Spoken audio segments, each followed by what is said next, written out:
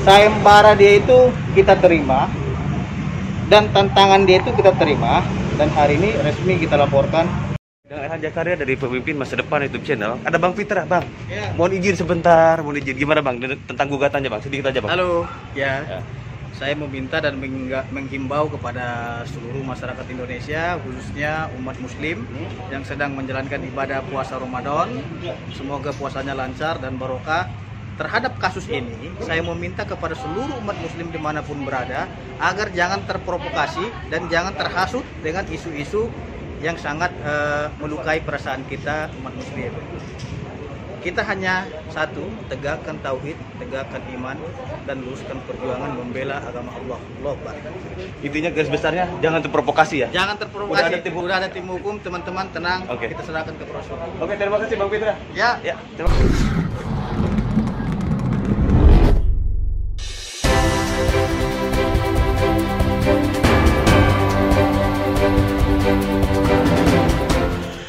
Pengacara Pitra Romadoni Nasution SHMH menerima tantangan sayembara dari Joseph Paul Zhang agar dirinya dilaporkan ke polisi terkait kasus penistaan agama.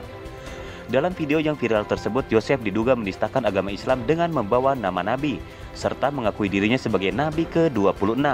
Pengakuan ini dilontarkan dalam forum diskusi Zoom yang sekaligus diunggah ke akun YouTube-nya.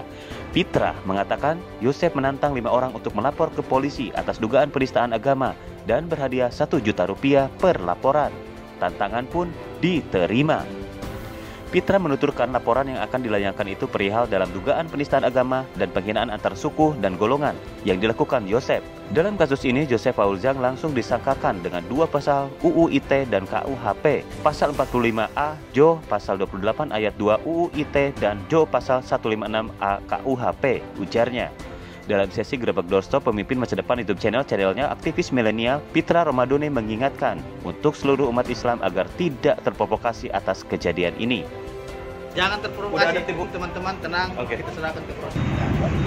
Kenapa kita melaporkan?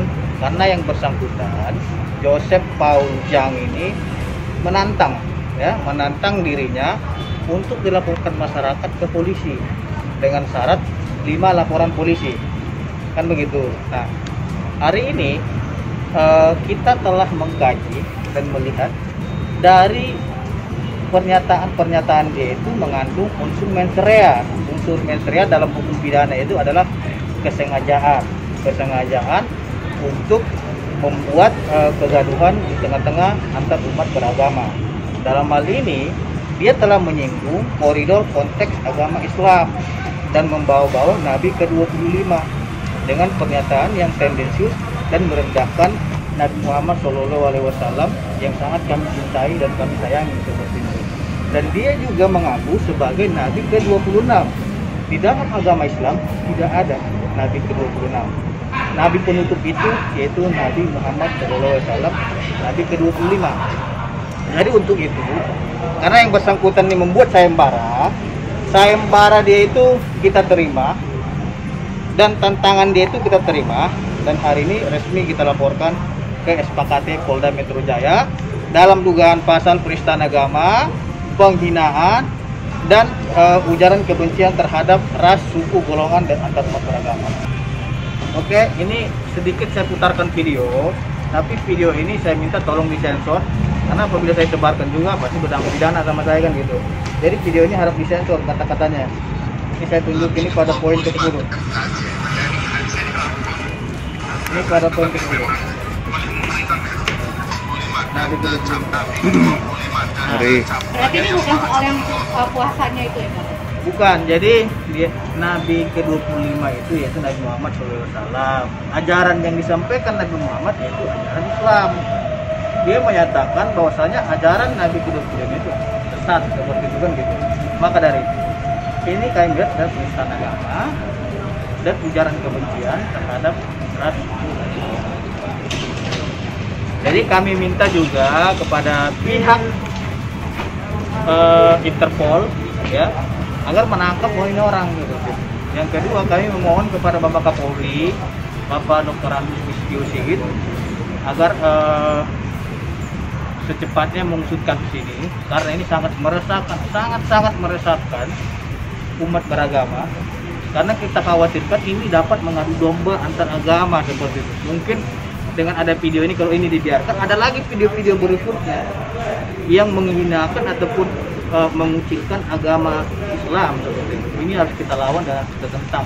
Jadi ini sementara waktu barang bukti yang dibawa video tadi ya Pak? barang bukti yang bawa sudah kita siapkan di sini. Ada video dan ada bukti uh, berita dan akun apa uh, alamat HTTP-nya itu ya. Alamat website-nya itu. Dan ini akan kita proses untuk betul-betul oleh penyidik ya makanya hari ini kita laporin. Nah ini ada tambahan juga nih dari pelapor lainnya nih. Apa saya marah ya ya kan? Kami selaku warga negara kebetulan juga beragama Islam sangat terusik dengan video dari diduga penista agama tersebut. Makanya kami melaporkan di Polda Metro Jaya. Terlebih dia melakukan adanya sayembara kan gitu. Satu juta per laporan. Kami ada lima orang.